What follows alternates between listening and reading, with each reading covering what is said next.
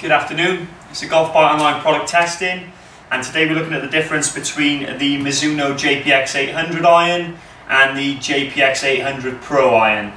Uh, main difference between the two is the JPX 800 there is a slightly more forgiving club, slightly wider sole, slightly more offset than the JPX Pro, which is a forged club. Uh, it's got a longer profile than its MP counterparts. Um, you know, modest offset with CNC milling and undercut forging, which has helped to gain distance in comparison to the original JPX, which has got its triple cut sole and its hot metal approach. So quite simply, it's a more powerful golf club the JPX. Uh, if we just try both clubs out, this is the original, so you can see slight offset, uh, quite a big head, not oversized but relatively big, going to be very very forgiving. So mid to high launch, very very forgiving club, a nice feel, very stable impact, and the Pro version.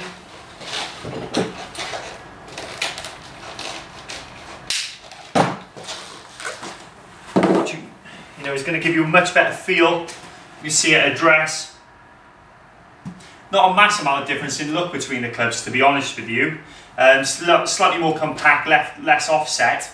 Uh, looks slightly better at address, but it's not a massive difference. You know, obviously you've got um, the best of both of this without going in you know, to the more playable forged Mizuno clubs, you've got the look of the JPX 800 original, slightly more compact, slightly less offset, going to give you a mid-launch ball flight, but going to give you feel as well. So someone who, you know, has not played an awful lot of golf, someone who's come back into the game, used to be a very, very good golfer, uh, good ball striker who wants just a set of clubs, go out on the weekend, he's going to get a bit of feel with, decent distance, and just go around, you know, without having to hit it very well out on the middle each time, the JPX Pro is going to be perfect.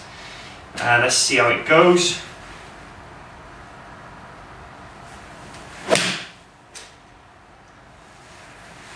Yeah, nice ball flight, mid ball flight, you know. Um, difference between the two, obviously, original's more forgiving, uh, but this is going to be very, very good for you know a, a mid to low handicapper. Um, so JPX Pro, mid to low handicapper, very, very forgiving in the head, but still got feel and obviously stability. And then the JPX 800, you know, mid handicapper, maybe down to a 12 handicap or something like that, but very, very powerful. So long, quite high hitting, mid to high launch, and this is going to work for you. And that's it for today. Thank you very much for listening. Bye bye.